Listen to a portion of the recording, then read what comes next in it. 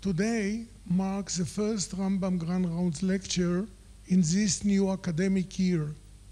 We are deeply honored and privileged to have a very special guest to mark this occasion. Please with me welcome Professor Sir Robert Jan Lechler. Sir, Le Sir Lechler is the president of the British Academy of Medical Sciences, a nephrologist, immunologist, and academic. He specializes in transplantation tolerance and immunology. Since 2004, he is professor of uh, immunology at King's College London, and he is the executive director of King's Health Partners since 2009. He studied at Monkton School, Victoria University of Manchester in 1975 and the Royal Postgraduate Medical School in 1993. 83, sorry. Sir Lechler was elected a Fellow of the Royal College of Physicians in 1990, a Fellow of the Royal College of Pathologists in 1996, and a Fellow of the Academy of Medical Sciences in 2000. In 2012, he was made a Knight Bachelor for services to academic medicine. we are honored and pleased that Sir Lechler is speaking to us today on the topic of sustaining translational research. This is a very important topic to the academic hospital such as our own, where we encourage our staff to be involved in research. Sir Lechler, welcome, please.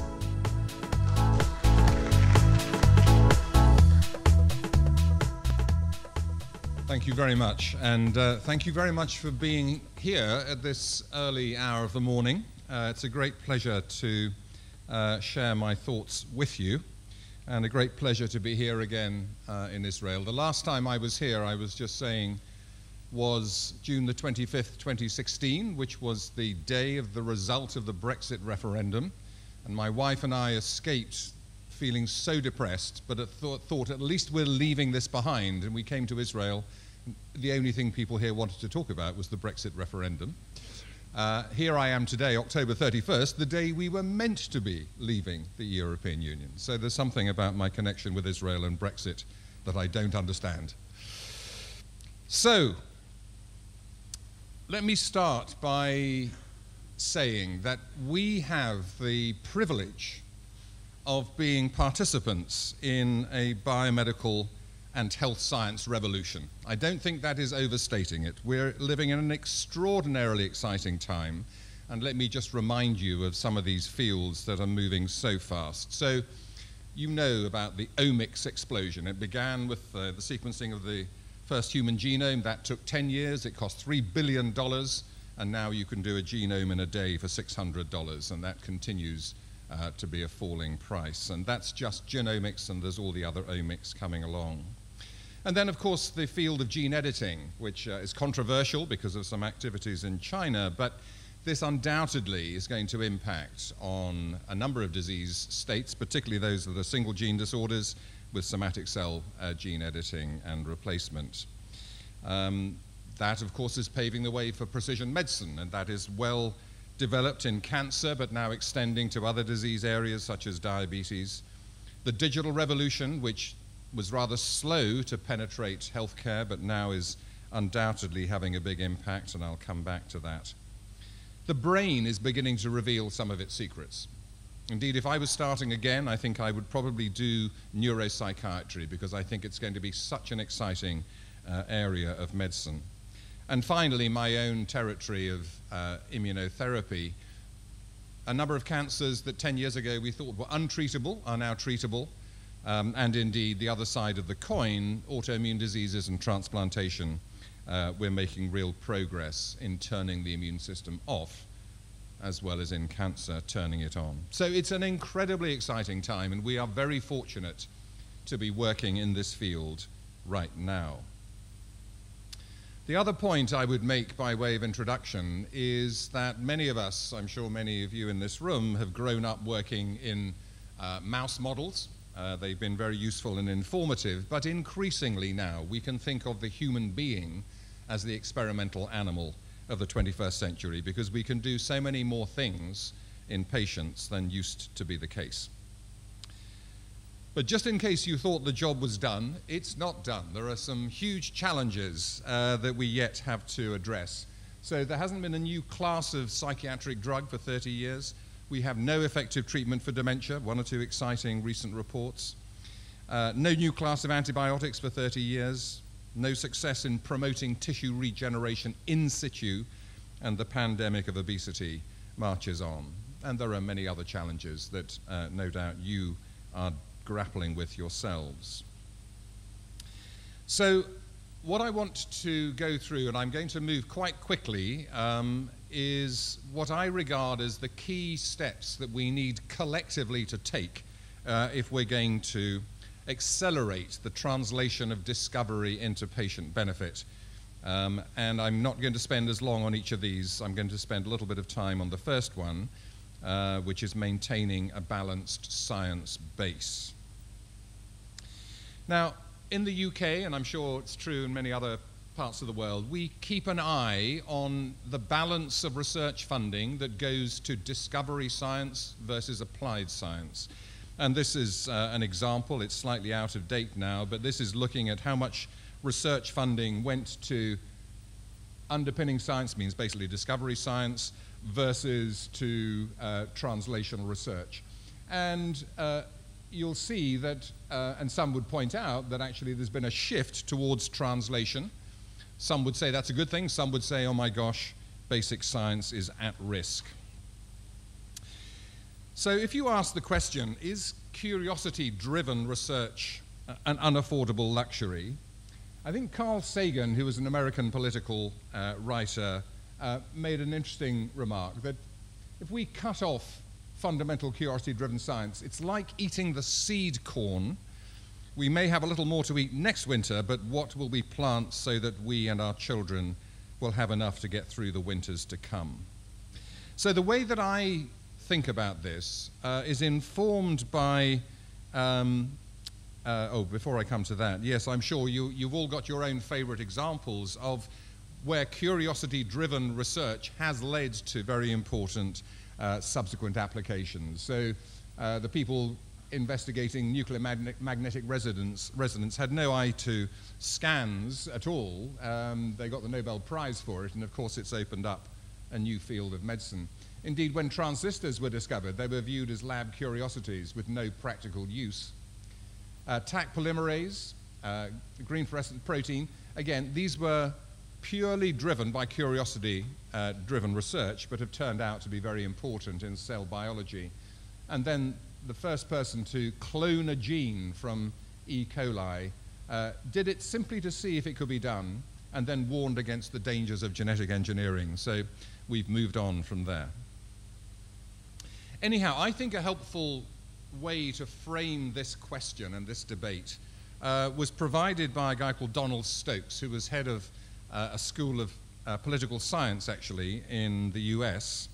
And he defined this very simple two by two um, square, where on the vertical axis uh, is how fundamental some research is, and on the horizontal axis, uh, how practical and applied it is. And he gave examples in each case. So, for pure applied research, this is Niels Bohr, the Danish particle physicist. He had no interest in application, but of course, some of what he discovered turned out to be applicable. For pure applied research, his poster child was Thomas Edison, the serial inventor who died with 1,096 patents to his name. And then what he called use inspired basic science, his poster child was Louis Pasteur. The one quadrant you don't want to be in is this one in the bottom left, which is boring and useless science, but I'm sure there's no one in the room who sits in that quadrant. My argument would be that for those of us leading research institutions or research environments, such as the one you have here, the thing we need to do is make sure all three of these quadrants are occupied, that they're all thriving, but they're connected. And if we do that, then I think we have nothing to worry about. But it is important that all three are sustained. Um, now, if you think about whether this Donald Stokes was scoring highly for diversity with three white old men, I don't think he was, but we'll forgive him that. So, what I, the language I use is creating a research environment where scientists have line of sight all the way from discovery through to application.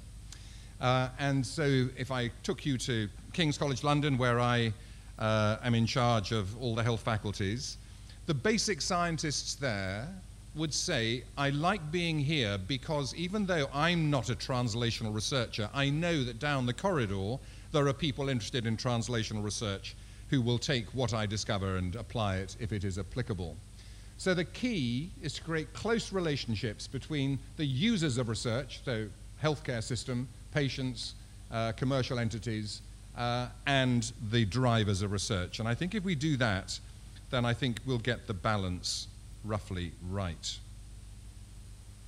And of course, all of this drives what we in the UK call the Academic Health Science Centre model, and I'm going to come back to that uh, in a moment, because that is about linking the scientific push with the clinical pull uh, so that you get the best of both.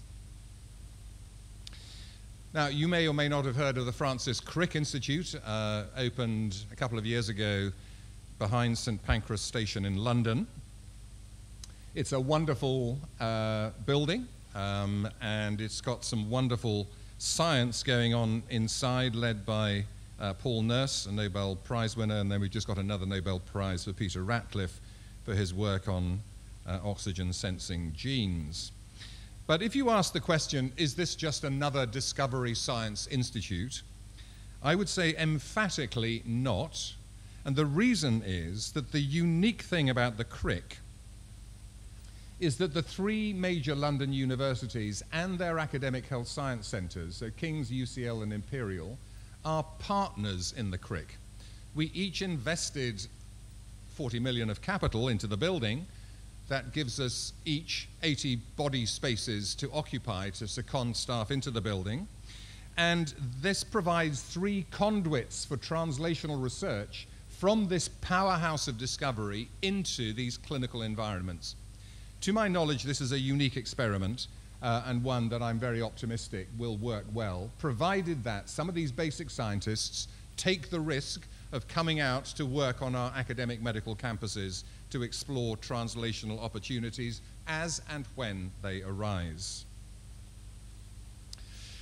So that's the first point. The second point that is absolutely essential is that we foster really close partnerships between universities, and healthcare organizations. And the background to this in the UK is that these two entities, two sectors, have drifted apart over the last few decades for a variety of reasons. Uh, one is that the healthcare system has become very preoccupied with targets. Uh, nothing wrong with targets, by the way, uh, they've had a good effect in some ways um, and led by management rather than by clinicians. Again, nothing wrong with good managers; they're very important people. But that means that the R&D agenda has been secondary rather than primary. The university sector, we have something in the UK called the Research Excellence Framework, uh, and it's easier to provide, to, to, generate high quality research in basic science and in animal models than it is in clinical contexts. And so perhaps there's been a greater focus uh, away from clinical research. And the financial pressures, again, tend to drive organizations to focus on their immediate priorities rather than what is important in the long term. Now, I don't know whether this little joke is going to cross um, national boundaries, and so forgive me if it doesn't. I, I, guess people here have heard of Winnie the Pooh and Piglet stories in their children, childhood. Um, so Pooh and Piglet were very, very good friends, uh, as you know. And here they are on what was called a woozle hunt, wandering around looking for a woozle. And as the two friends wandered through the snow on their way home, Piglet grinned to himself, thinking how lucky he was to have a best friend like Pooh. Now, this cartoon came around the internet at the time that the swine flu virus was identified. And Pooh was thinking less charitable thoughts to himself. And forgive the language, it's not mine. Pooh thought to himself, if the pig sneezes, he's effing dead.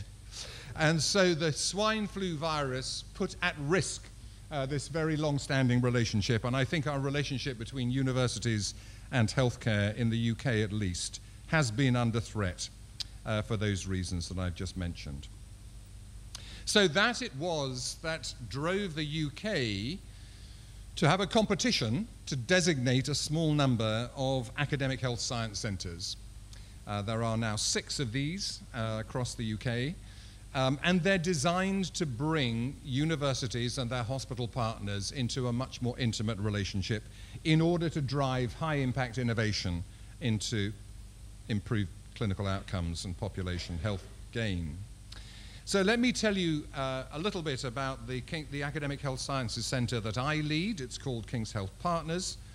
It brings uh, three uh, hospitals together, Guy's and St Thomas's, King's College Hospital, and the UK's leading mental health trust, the South London and Maudsley, uh, with the university partner, King's College London.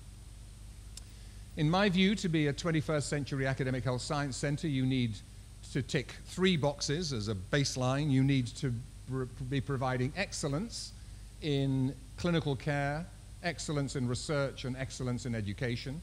Uh, secondly, you need to be broad in your range of services and research. And thirdly, you need scale. So I think we can claim all three of those. Uh, we certainly are large. We have 36,000 staff and a turnover getting close to 4 billion pounds per annum with 5 million patient contacts and a very large uh, research portfolio. So there are three hypotheses uh, underlying what we're trying to do in King's Health Partners, derived from the partnership, the partners in this organization. So if I'm talking to some innocent bystander at a bus stop, this is how I would explain what King's Health Partners is about. The first hypothesis is that by having two large acute hospitals, Guy's and St Thomas's and King's College Hospital, in the same partnership, there must be an opportunity to reconfigure specialist services uh, and link the relevant research and drive up quality. It's a lot easier to say than it is to do, as I'm sure you well know. The second hypothesis is that by having a mental health hospital in this partnership, we should be able to do something to better integrate mental and physical health care. And the third hypothesis is that by having a university in this partnership, we should be able to create an academic culture and accelerate translation. So let me briefly illustrate whether or not we're making progress with delivering on those three hypotheses. So this is a diagram showing the specialist services delivered by Guy's and St. Thomas's, which are up here. These are two organizations, sorry, two hospitals, one organization on two sites. And this is King's College Hospital, three miles down the road. And you don't need to look at this very long to see that all these specialist services are duplicated. And if you were designing the healthcare system from scratch, you would not design it like this. And that's why I call this a dog's breakfast. It's a mess. And uh, this we saw as an opportunity to do something more intelligent about it. Now, as I say, it's an awful lot easier to say, let's reconfigure things than it is to do it because nobody wants to give up what they have. But over the last 10 years, we've managed to make a lot of progress, and now we've committed consensually to developing a series of clinical academic institutes consolidating cardiovascular and child health at St. Thomas's, uh, cancer and dentistry at Guy's, uh, neuroscience, uh, diabetes, and hematology at King's College Hospital. So we are reconfiguring services. We've done this in a very fair and balanced way, uh, and I think it has a lot of potential for driving improved clinical quality and translational research. So that's hypothesis one. Hypothesis two, I describe this as putting an end to Cartesian dualism. To understand that, you need to know a little bit of philosophy. So there was a French philosopher called Descartes uh, who believed in the duality of the mind and the body, thought they were two separate things. Philosophy has largely moved on from that thinking, but our healthcare systems have not. And so at Denmark Hill, this, uh, where King's College Hospital is on one side of the road, the Maudsley Hospital is on the other side of the road, and the relationship between these two wasn't very good in the past, and I'm told you needed a passport to cross the road between one hospital and the other. So this was uh, not sensible. And this is something I've become passionate about since leading King's Health Partners. The three drivers of this passion are shown here. I'm sure you know this. But by our own screening in King's Health Partners, almost a third of patients with long term physical conditions are depressed. And rheumatologists are very good at looking after joints, but they're not so good at detecting or managing depression. The same thing for diabetes and so on. Secondly, 60% of patients referred to a cardiologist with chest pain have nothing wrong with their heart. That doesn't mean they don't have chest pain, but it means they get investigated inside and out until someone realizes that the problem was anxiety. And thirdly, patients with long term serious mental illness, and this is the worst scandal of all, uh, have about 17 years taken off their lifespan, and this is not suicide, this is the physical comorbidities that accompany uh, their schizophrenia, and that's partly due to drugs, it's partly due to lifestyle. So we need to do something about this, and uh, this is a major theme across the whole of King's Health Partners.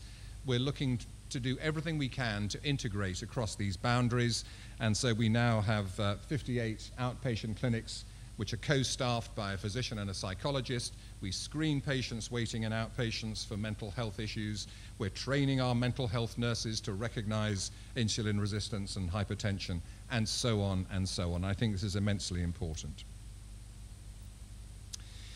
What about the third hypothesis that we're managing to integrate the university into the healthcare system and generate an academic culture? Well, this is one surrogate marker. This is a number of highly cited papers published by NHS employees in our hospitals. Is, these are not university employees, NHS employees. And this is when King's Health Partners was formed, and you can see it's trebled in Guy's and St Thomas's and doubled in King's College Hospital. I can't prove that's due to the Academic Health Science Centre, but I'm going to claim it as a credit. And then if you look at clinical trial performance, which we measure across all hospitals in the UK, um, Guy's and St Thomas's is now either first or second, King's College Hospital fourth and 11th, and the Maudsley first or third for clinical trial performance across the whole of the UK. And 10 years ago, that was absolutely not the case. But these are surrogate markers, but I hope you'll accept they do provide some encouragement that we are generating a really academic, research orientated culture in these hospitals. Okay, moving much more quickly now. The third challenge is establishing a sustainable healthcare system because if our healthcare systems are not financially secure, there is very little chance that they will be able to prioritize research. And in the UK, that's a real challenge at the moment.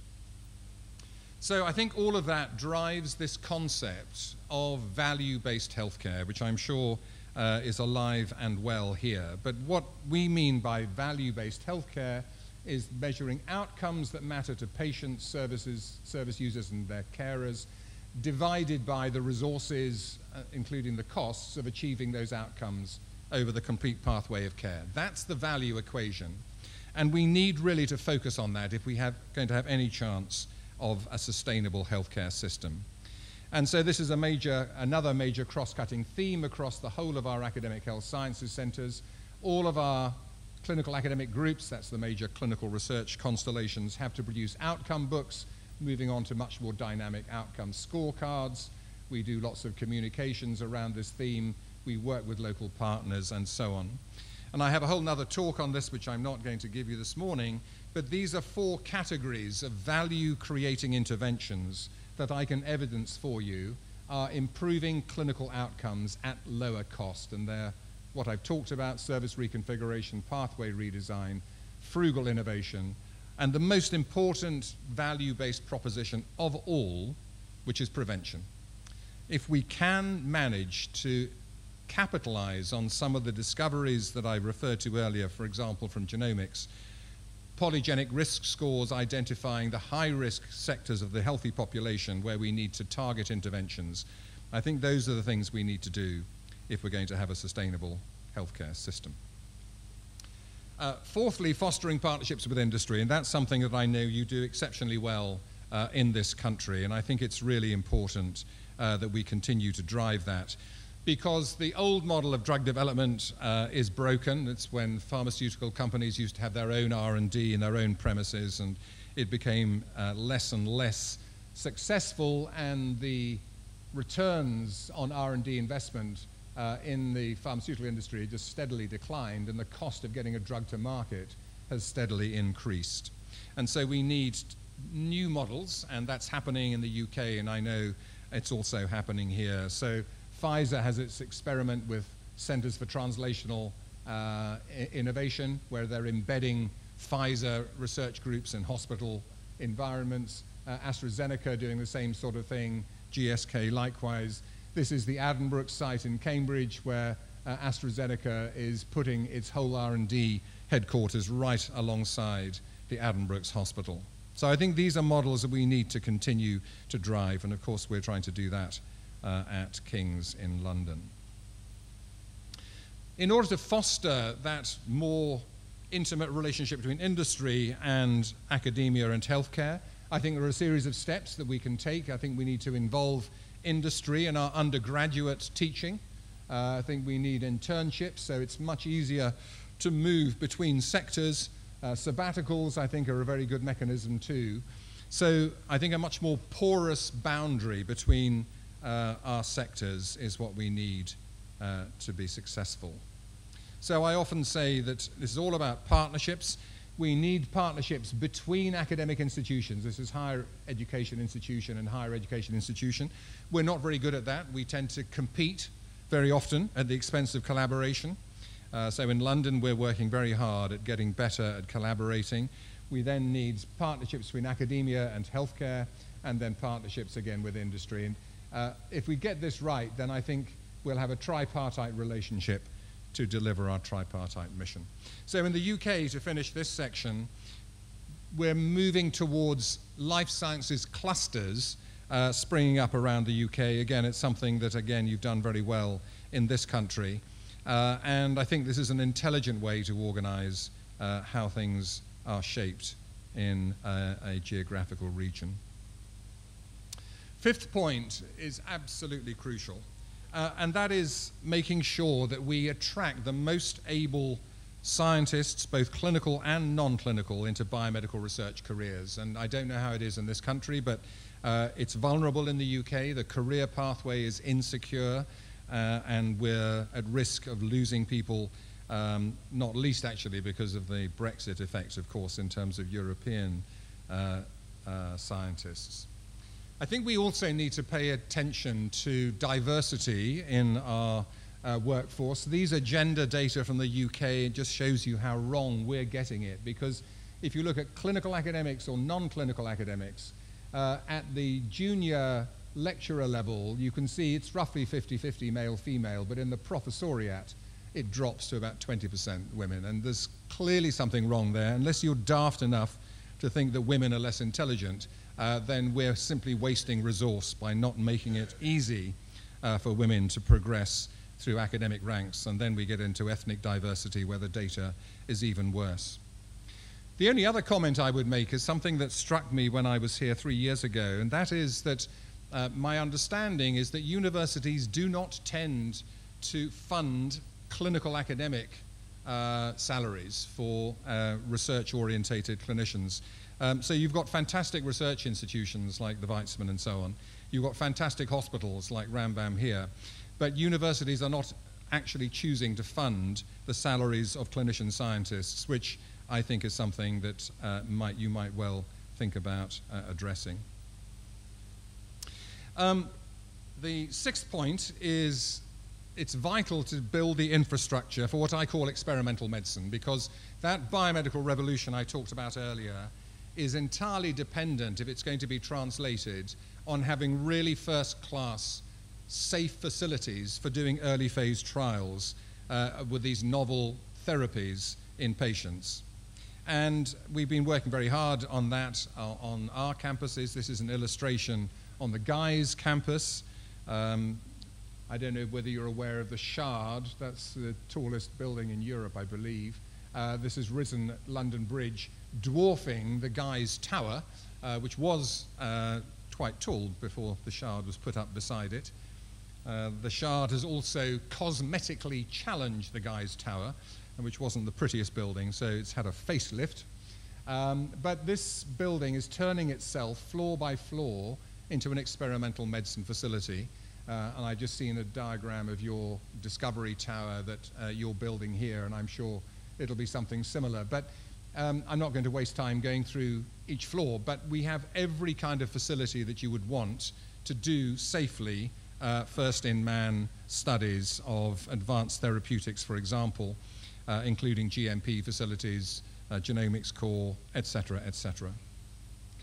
On the St. Thomas's campus, which is the one opposite the Houses of Parliament, there we're developing uh, a very exciting medtech hub where we're bringing biomedical engineering right into the heart of the hospital. Uh, and the plan is to create a London Institute of Healthcare Engineering. And we've now got uh, 450 imaging scientists there, and then we're broadening out to other aspects of biomedical engineering uh, over the next decade, led by a very talented uh, young Frenchman uh, Seb Ourselin. Um, and the, the, thing that I'm particularly excited about here is that the engineering is really embedded in the hospital context. And I think that's uh, key. And we need to bring disciplines into medicine um, outside biomedical research if we're to make the progress that we wish to make. Uh, the penultimate point um, is to really get engaged with uh, the digital revolution, which uh, I'm sure you are, uh, and we are endeavoring to do so. It's going to have a very big impact, it already is. Um, so the possibility now of using this kind of technology for remote monitoring, which actually is having some very early dividends in low and middle income countries, where you can monitor uh, retinal disease or skin lesions really in very primitive settings by transferring the data to uh, some central monitoring source. Um, but it's also relevant to the way we organize our healthcare systems. And hopefully, this will lead to less dependence on trips to hospitals because we'll be able to ma manage patients in their home setting much more efficiently. Uh, lots of connectivity of data sets. I'm sure you're grappling with the data deluge uh, here in Israel, um, but it's really got huge potential uh, to extend our insights into disease pathogenesis uh, and uh, personalized medicine. And so um, the applications of artificial intelligence are already having an impact in uh, assisted diagnosis um, and uh, disease monitoring. Um, and so I think bearing that in mind, we need to think a little bit more creatively about how we're generating a workforce that can embrace some of these, uh, some aspects of this revolution that I started off talking about. And uh, we need to be breeding many more data scientists, uh, informaticians, and machine learning experts that are going to be comfortable working in the clinical context. So I think it also has implications for how we train doctors, uh, not only doctors, but other healthcare professional groups too. And my final point um, is public engagement it's absolutely vital that we take this aspect of our responsibility seriously. So I'm sure, uh, as in the UK, when you complete your grant application, there's a little section at the end when you have to say what you're going to do about informing the public or disseminating uh, your discovery. And we do it as a kind of duty, uh, but we don't take it very seriously. I think we need to take it more seriously. Um, and the reason for that is that we need the public's permission, is the language I use, uh, to do the research that we do, because ultimately the public are the people that fund us through their taxes, one way or another. Uh, and as the biomedical revolution progresses, it's throwing up a number of uh, issues with ethical dimensions, and we need the public to engage with those ethical dimensions so, as I say, that we keep them on side uh, as agents working with us uh, as we continue to prosecute uh, the research that we want to do. So, to bring all this to a finish, um, what I've suggested to you is uh, that if we're going to harness this revolution that I started off talking about, we need to get a balanced science base, continuing to support discovery science. Uh, we need to build on this academic health sciences center concept to create line of sight from discovery to translation, bring academic rigor to healthcare sustainability, the healthcare sustainability challenge, create more porous boundaries between academia and industry, support the careers of young scientists so that they feel sufficiently secure to commit to such a career, address the diversity challenge, invest in key infrastructure, prioritize public engagement. I haven't talked about this, but I think it's also important we go on demonstrating to our government uh, the economic value of research, which of course I'm quite convinced is absolutely the case. So thank you very much for staying with me and thank you for your attention.